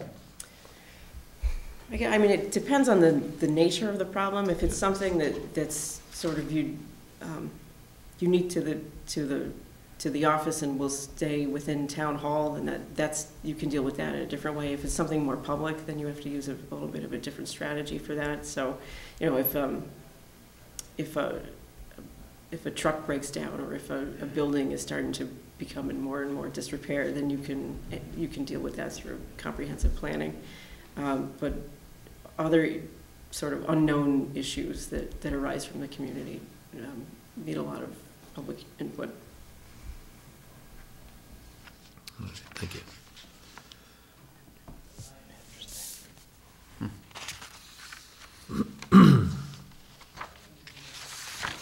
Uh, So we talked about Project of Fairmont. Can you describe experience working with citizens from a variety of cultural backgrounds and approaches you use to ensure adequate attention uh, given to uh, all of the needs of uh, both these groups and your projects? Sure. Um, I, I think that's, that doing that effectively is something that, that doesn't come naturally to anyone, regardless of their background. So just keeping, um, keeping that in mind at all times is tremendously important, and to realize that you're not the expert. Like, I'm, I might not be able to reach out to the student community on my own, but mm-hmm. speaking to someone who would know how to do that is really important, or, or the elderly, or um, people of different backgrounds. So just, just to know that that's something you need to do and engage different people to help you do that. So it's like a, a state of mind, essentially. When I say that, you know, knowing that resources to assets to problems. Yeah, like if I, if I need to reach out to uh, non-English speakers, where do I go for that? Um, you know, don't just have a meeting at town hall and expect that you're gonna have all of your problems answered, because that's a really limited subset of the population who will end up showing up to those. Yeah, we know. That's, yep, great point. Yeah, my, most, most community meetings, unless it's a really divisive issue, I do occur in empty rooms, unfortunately, so it's the, on the, it's, the onus is on the, the town, um, to go out and solicit additional Business. input. We've commented more than once about how, you know, working groups, not necessarily even elected officials, working groups, emergency preparedness groups, you know, hazard mitigation groups, you know, those, those meetings are binders and tables, and you, you've been in those rooms, binders and tables, and it's like decisions are made and policies are adopted, it's empty space.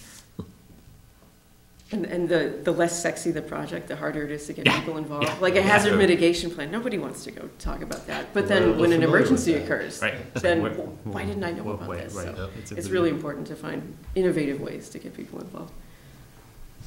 point. Sarah, consider the following situations which may occur from time to time.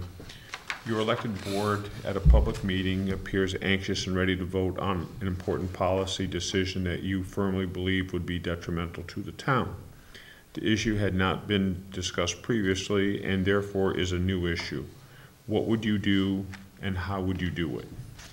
Uh, so if it's something that the board hadn't had time to consider that just came up at the meeting, I would definitely advise them to step back and do additional research. Um, I would be happy to provide them with that information, uh, but, you know, not to jump to any conclusions or, or act hastily unless it's really absolutely warranted, like an emergency situation.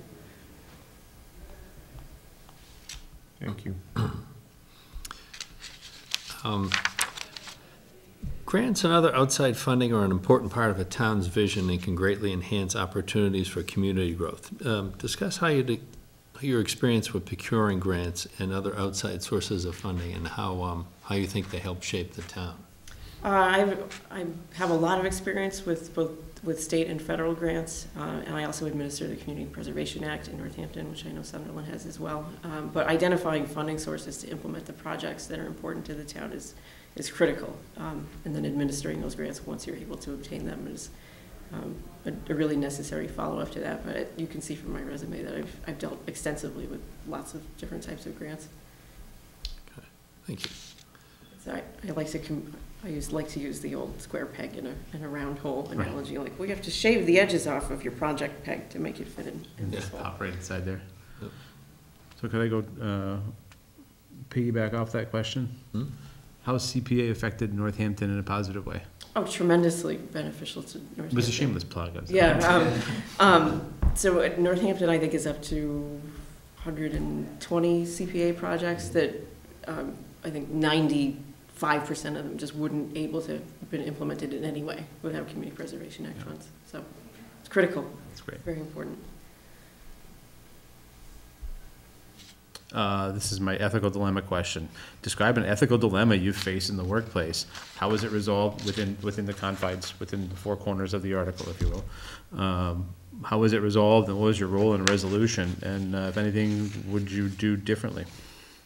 I think happily, I have not really been involved in a, in a, in a personal ethical dilemma. Um, You know, I- as you've done, we take the, the ethics quiz, we, we watch the, uh, the video with the, um, with all of the, the hin- hints and tips, and I, I've seen other people have sort of ethical issues that maybe I, I would have approached in a different way, but I think not getting into those situations in the first place is important.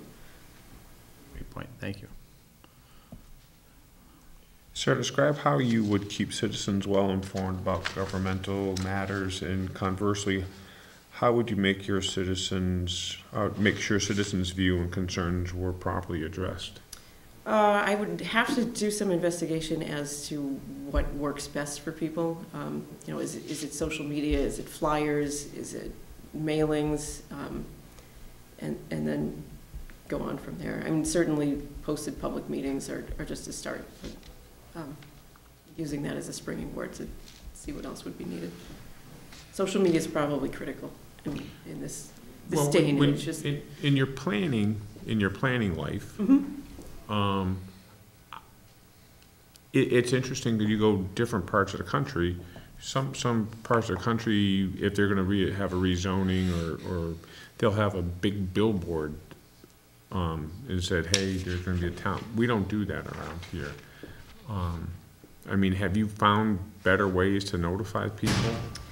Uh, we do use public notice signs, um, so it's like a, a yellow legal notice that you put in the ground. Um, so not quite a billboard, but a little more than a legal ad, that, which can be helpful. Um, I think sometimes people will at least read them and then determine that they're not interested, rather than not having seen the notice and figuring that they, they're not interested that way. Um, and, but I think social media is, is really important to get things out there, although that can pre- present some ethical dilemmas on its own, you know, with with quorums and conflicts of interest.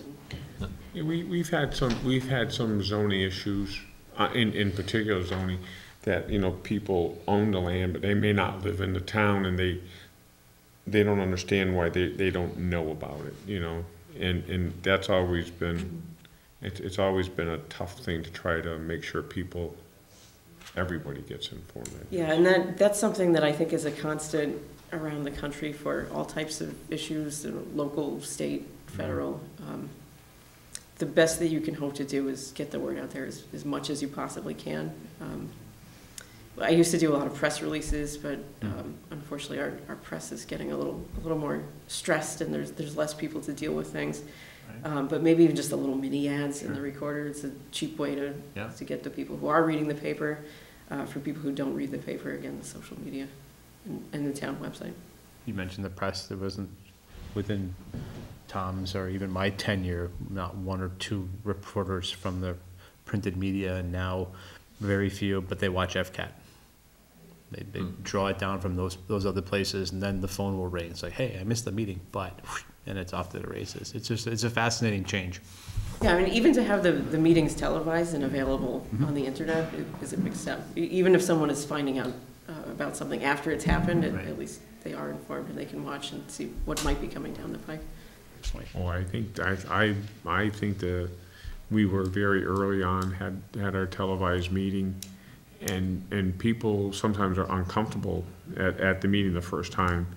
And, but for, for me at least, it's like, um, someone says, well, you, s- you, s- you said whatever, and I says, I never said that. And they go, yes, you did. I said, no, you just go to YouTube and look up FCAT, and, and that was not, that wasn't said at our meeting. Right. And that's not what I said. Right. So actually, I, I, I, I like that we have FCAT and tape meetings. I think that it, it, it does bring, it does bring our government, the local government to the people. And if they, and if they actually take the time to watch or understand, they'll find out that they, they know where every tax dollar pretty much goes. Because we discussed, in our budget system, we probably discuss all eight million, four hundred and fifty thousand dollars of it, so. And fifty-nine Numerous cents. times. And fifty-nine cents, yeah. And I've heard people say when, when they're going to be speaking at a meeting that, that's um, on television, or maybe this, this meeting of this board will be televised, and it isn't usually like, well, then I can't say what I want to say. Like, Well, that's not how it works. You, you need to be, always keep that in mind, that you. Oh, I agree. shouldn't- You shouldn't be saying things that, that you don't want out there. Like, Personally, I always try to remember that you know, anything I say or anything I write down could potentially be in the newspaper, and would I be okay with that? And if I'm not, I, I won't say it. Right, that's a really good point. And there are those, there are those, mm, yeah, you're absolutely right about, hey, I can't say what I want to say. Well, I actually really can. It's, it's, you know, it's not that hard to put these behind you and simply go about the brainstorming session or, or the uh, talking with enthusiasm, as Mr. Sokolowski said one year, one meeting. I wasn't yelling, I was talking with enthusiasm. Not on this side of the river. Not on river. this side of the river, sorry. Not on this side of the river. With a little trip down memory lane there, but it was all good. Um, Can you give an example of creative problem solving? You got a planner's background, so how creative can you get, forget that square peg in the round hole as you described earlier? And especially with funding, you know, how can, this is our project, all right, how can we get this done? Let's, let's look at state programs that are out there, let's look at private grants, let's look at what we actually have for town resources that may, resources that maybe we haven't thought about. Um, Just think of every way that you could possibly do something and see what's actually feasible. And don't throw out a possible solution just because it, on, at the first onset, it, it doesn't sound like you could do it. Sometimes you can.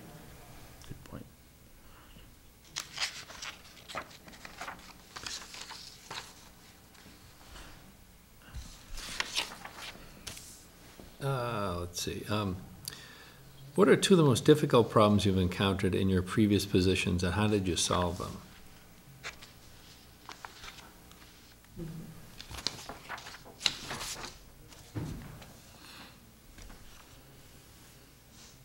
Let's see. Um, and I, probably issues with, um, that are, have been really controversial, and they're, no matter which decision you come to, uh, people aren't going to be happy. Someone's going to be really, really upset about it. Um, and that's especially true for things that are really emotional and close to people's hearts.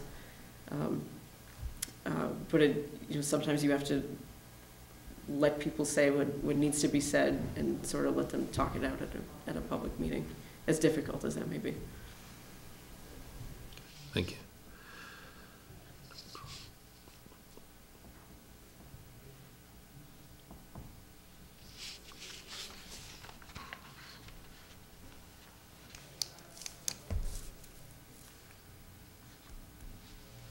Okay, we've been through your resume, you've seen part of our interview process, you're involved in part of our interview process.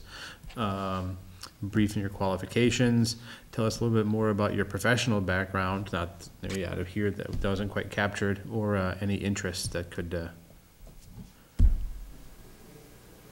be as part of the, pro- be as part of the job. Um, I like to be outdoors a lot, um, so I, I was excited about your, your trail, uh, and the, the river access, that, that's really great. I've dragged a kayak down that, Nice. that steep incline more than once. Um, It's well, much the better. down isn't so hard, the Yeah. up is the.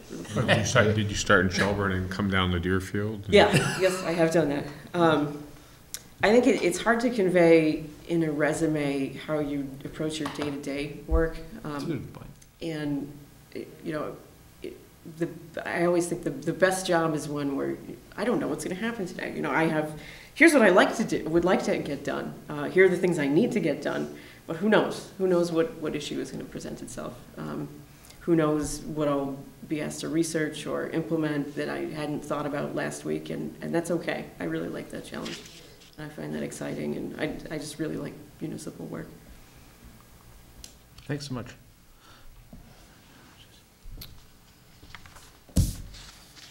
So we got one more, but we covered that area already, right? And, and it has to do with your educational background, but we've been through that through this series, of- a series of questionings. We had the same, s- that, that's one in there that we kind of pass over often throughout the discussions. Um, because frankly, we have, we have great applicants, yourself included, obviously. Um, with respect to, just one comment about your last answer, um, the the day-to-day in the municipal environment is an unpredictable random. You know, it's just, it just is, and it's just like, oh. Um, I'd like to follow if I could, I see a lot in planning, and I see, uh, planning and sustainability, uh, planning administrator. Can you, can you, this is off script right now, can you talk a little bit about your experience in, uh, uh, budgeting, municipal budgeting? I have budget ex- experience with the Community Preservation Act and with specific projects. Yep. Um, I deal, You, you can do the CPA budgeting? That, Hired. hired, Check. well, I I try. I mean, just today I was, you know, I've been waiting and waiting for, to see what our, um, what our matches will be. Yeah, yeah. Nobody knows. Like, Right. so how are we supposed to do anything if we don't know what the matches will be? But And you- that's also kind of the nature of municipal work. Sometimes Sure. you, you're waiting for the, the state to tell you something and they're waiting on the feds to tell them something. And it- that's the challenge you need to work and you have to put so much aside, and you have to. Yes. You- And, oh, yeah, and, and we have, we have, uh, one of our community members on the CPA, Jennifer, she, I swear she spends her entire life just trying to figure that out. And, and, and then she'll say, And she does it with total chill, too. Oh, she never gets It's like- excited. Yeah. Uh, it's But, amazing. but, but then, but then she'll have to have a meeting with Brian, Right. the accountant. accountant. And, and his numbers won't match her numbers and, and then it's like, usually like the day bef- of the town meeting, we're changing numbers because the state's changed something on us and, oh yeah. I, it's an amazing process, the CPA.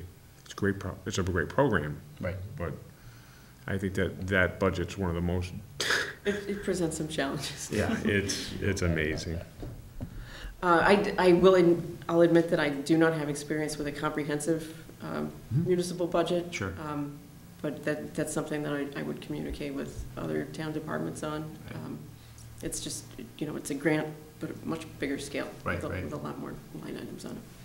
But we've got, I think, if I, if I could, uh, we have a a pretty strong um, platform, the infamous spreadsheet, the inputs and outputs have been developed and, and pretty much adhered to. So we try not to reinvent the wheel every year, and those categories are really, really important to kind of stay inside of. Now, there are, there are those, you know, unpredictable randoms that roll in any given year, a particular expense, but that's, that's, uh, it's all, we, we take a, a pretty strong revenue-driven budget perspective, so.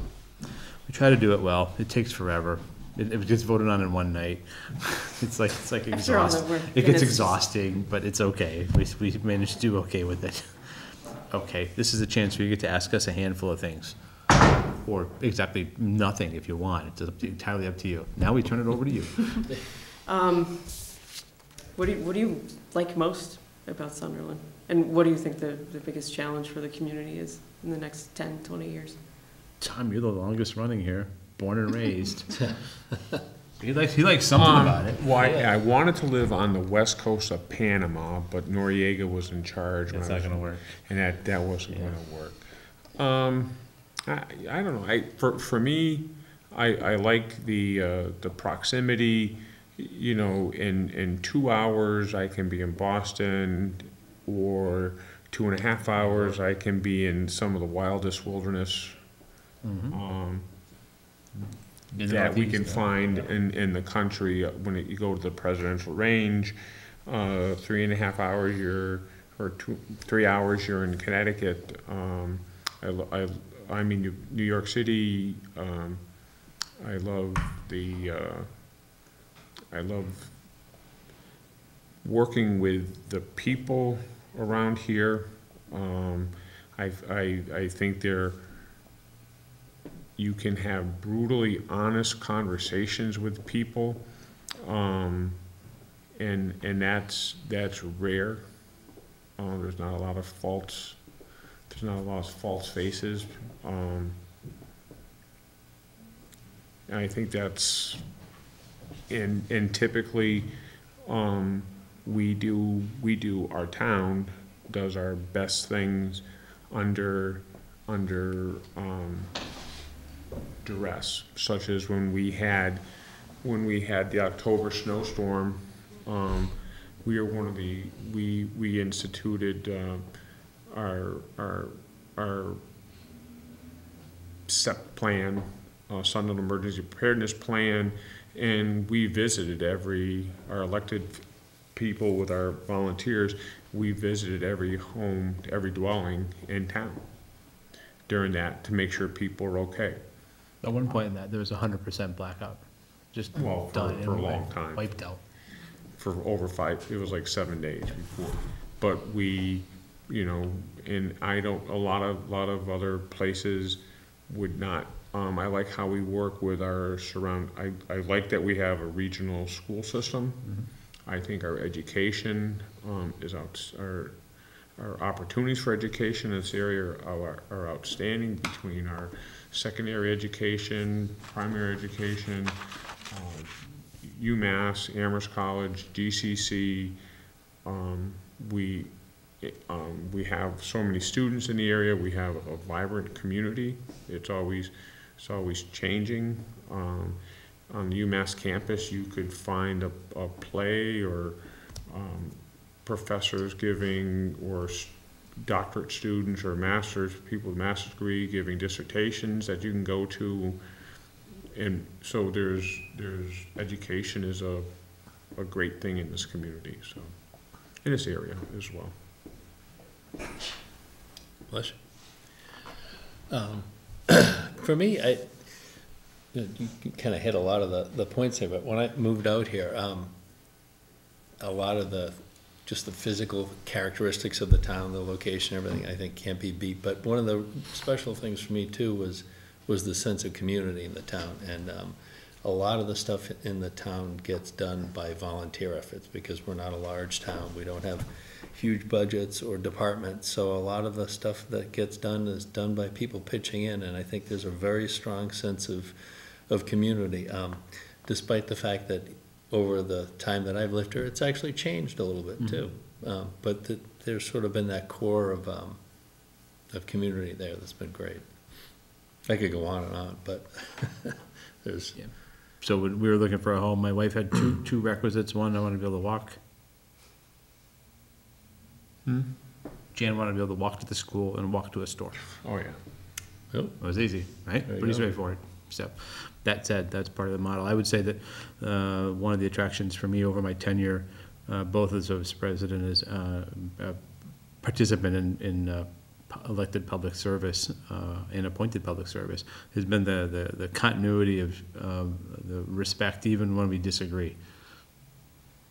And, um, the town has a, has a a healthy trajectory. I think that's important to bear in mind over the decades and the decades that I participated in town meeting.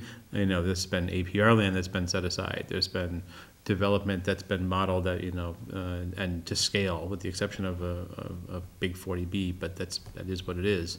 There's been, uh, creative thought as well as, uh, thoughtful long looks toward zoning and planning. Um, you know, there's, there's reasons for those kinds of things. You miss it when you, you live the movie by one frame at a time, but if you, if you take the movie back twenty years and you spin it and go, oh, oh, wow, we really did get a lot done collectively as a, as a community. Um, and I think, you know, generally speaking, we work well with our uh, uh, neighboring communities. Every now and then, they need to be bossed around a little bit, so bear that in mind. Uh, And the COG is, the COG is fine too. They do, they do great work for us and by us, and they're also on a learning curve as well. I hope they watch, but, you know, we're not, we weren't always, I personally was not always a fan, uh, but, you know, through uh, collaboration at work, we've grown to trust each other on things that are important, so. So, yeah, that's, that's, that's uh, my affinity for Sunderland 101, so. What else? Okay, and biggest challenges facing the? Challenges. Uh, there's an inherent tension between uh, available revenue streams, maintaining open space. Uh, challenge with uh, the percentage-based increases in budgets, in particular in education, when you have something that is, and I'm not, I'm the farthest from anti-education, when seventy percent of your budget roughly is driven by one, one category, and it grows by two percent, every other category can't keep up. It just doesn't happen that way. So there's, there's always an inherent, um, there's an inherent tension uh, with that. I think another challenge we've seen, at least in, in my, in, in again, all of our tenures, traffic has become an issue. Like, not just cars in general, but like people blowing, blowing through town like, like fast. We do some, uh, I'll use an example of Falls Road. When you get an 85th percentile of, you know, 62 miles an hour on, on a 25 posting, it's like, really? Whoa. So, you know, people generally given the opportunity will do the absolute stupidest thing. So we have, a, we have some challenges in that area.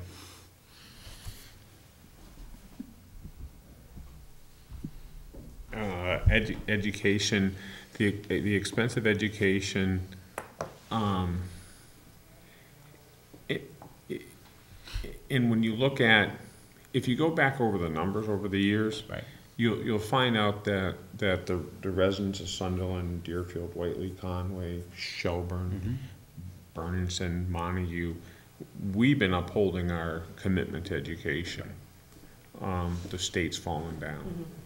And, and, and some, and somehow, it's, it's to convey, convey, con, it is to convey that if, if, if the, the state, the state has to take a, a more of a leadership role with education, especially the funding of education in, in more rural areas. And, and, and they have to understand that one, one size doesn't fit all. And they don't, they, they have no idea what busing, you know, what, what we pay in regional transportation. We're supposed to get back hundred percent regional transportation. We're, we're not even close. One, one year went down to what, twenty-eight percent? Right. They have no idea, and, and they don't, they don't understand what these big things that are painted yellow with red lights are. They, they don't see them, you know? But when you look at our legislate, when you look at our legislative, when when you look at our legislative, um, power out in this section of thing, all of, all of Western Mass doesn't equal a- a por- a portion of Right. Boston. Right. So we don't have the legislative clout to do anything. School choice is another thing. Why, why are we putting dollar signs on kids? Eastern part of the state doesn't have that problem. We do. And, and, and it's kind of hard for us to say because front, our Union thirty-eight Frontier District has, has profited, I guess I'll, I'll say, um, by school choice, because we, we're, we're, we're net plus. We're, you know, our schools are, are in Union thirty-eight and Frontier are net, are net plus. We get more kids from school choice than we lose, so, but, but where, where are we taking those? We're taking those dollars and we're taking those, those parents that are concerned from the schools where they should be and bring them to here. So, so trying to get education funded properly or differently, um, and, and trying to address the school, school choice issues, you know, tho- those are, those are huge issues. Um, I, I don't know if we can, I don't know if we can take them on independently, but I think, I think our voice, i- it's, our voice needs to be heard more on a, on a regional basis. Um, I, I, and, and I, I think our budget is, is a concern. And also, not just a budget, because I, I think our budget is more or less stable, it's the revenues, you know? The, and, and again, we're coming to, to the state, when you look at what the state, how, how it reimburses, versus the towns, it's changed, it's, it's changed over, the the discretionary, you know, we used to get pilot, pilot funds, then all of a sudden, the, the Boston area or the eastern part of the state all of a sudden says, well, hey, we have state, state lands also. Right. Um, and I don't, I don't, that's, the- when, when, and we originally fought for pilot, when Western Mass was, was get, was getting pilots, because, you know, there are communities out here that lose 35, 40, 50 percent of their taxable property because it's under state control, so. I, I think we have to, we can't be afraid to, to, to bring these inequalities to their attention. Anything else? You, you like, you hit a soul button right there, and it's like, we could go on a lot. Yeah, and I, those are all, um, some of the issues are unique to Sunderland, but a lot of them are, um, affect Western Mass and Franklin County in particular as a whole. So it, it's something we, we really need to think about as a region. Um, no town can stand alone or, or do it all on their own. Yeah, agreed. Well, We I, work I a mean, lot you, with other you, you look, you look how, like, we, we have a regional ambulance service that, that we fought, that, that we fought hard for. But, but, but we were, but, but it was out of necessity because we had de- declining, declining volunteerism, okay? And, and it, when you, when you look, when you look at the amount of hours that, you know, we just had three volunteer firefighters that went to, um, the state uh, firefighting academy, and they just graduated from, in, down in Springfield a couple of weeks ago.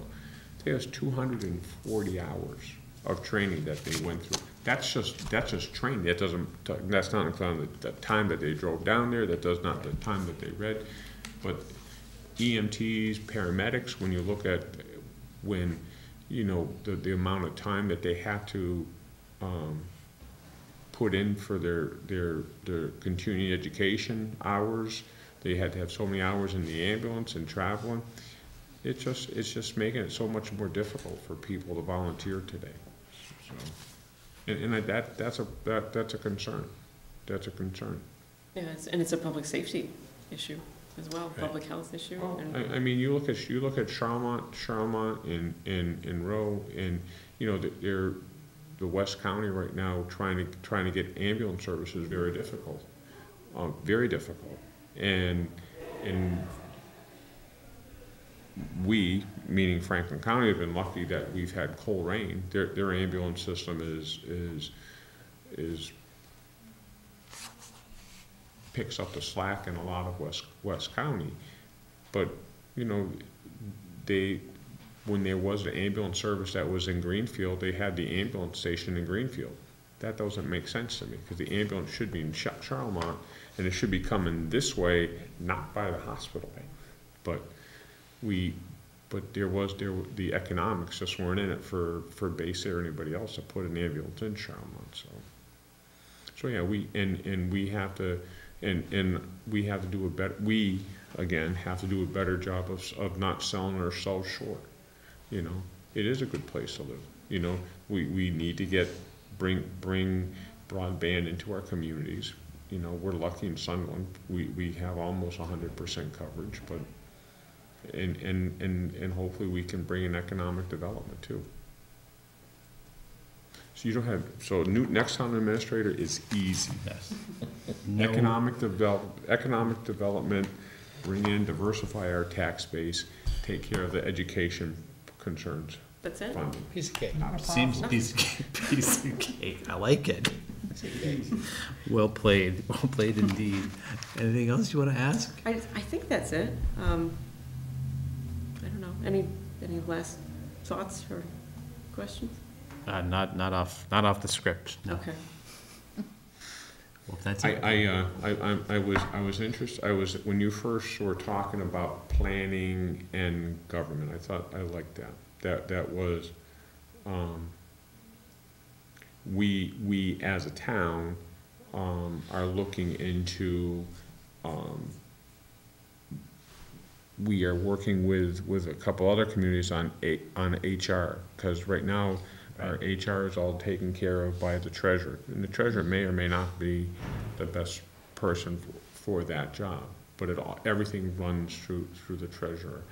And, and I would say for the past 25, 30 years, we've talked about, um, regional shared planning. We do a lot with a cog, Mhm. but what do you do for, for the communities? Yeah, the, the, they can solve some of the grant issues and some of the regional projects, but the day-to-day really And, and we, isn't and, able to be covered. and and Peggy Sloan and, and the group does a wonderful job at the cog, because they, they get to look at the big Mhm. picture, which someone has to. Um, but when, you know, we, we're, we're limited on, on, on what we can do as a, as a town, because we, we don't have a full-time plan. you know? If some, how, how do we market ourselves? We, we, it's almost impossible. Sure. So, You don't have a marketing department? What happened to that? so the town, so it would, uh, would I be looking for, from a town administrator, and we, we asked, we've been asked this question before, i- is someone that can, that, that can, can, is a person that wears many hats, someone that has experience to, to wear a lot of different hats, and, you know, it can be a manager of people, can be a manager of budgets, can be a manager of, of, of our utilities, um. and- Ideas, manager of ideas, because they do come in fast and furious. Absolutely. And, and, and, and, and all of it's stuff, but the right, the right person really makes a difference. And I, I think when you go home at night, the town, the successful, a successful town administrator, when they go home at, at night, I think there's a extreme frustration, but extreme, but some, but also I think you can have extreme, uh, satisfaction also. It's, it's not all ribbon cutting. Sometimes it's just smiles and a good job uh, from someone you haven't seen in six months, Yeah, Absolutely. right? Or, or Yeah. post, or, you know, it's just Yeah. that simple. Yeah, absolutely, Scotty. Quite interesting. Anyway, you got to see our answers for the last interview. You are our last interview, believe it or not. Wow. So, um, our process is to take our notes, score our notes in the next week, and then reach out to, uh, people we wanna talk to a second time. And then our overarching goal is to, uh, wrap this up, uh, for, uh, in place for mid-December, first part of January at the latest. All right. All right? Just in time for budget. Well, budget, budget's already clocking, Yeah. clocking in right now. Right into Budget the season thick of it. never ends. That That's, never- that's a that's fallacy. true. It's- I, it's I always agree with good. that, hundred Peaks percent. and valleys. Hundred percent. All right, Sarah, it's been wonderful. FCAT, you can call us out at, s- uh, is there a motion to adjourn at eight twenty-five? Motion. Second. Motion's made and seconded. All those in favor? Aye. Aye, three to zero, please.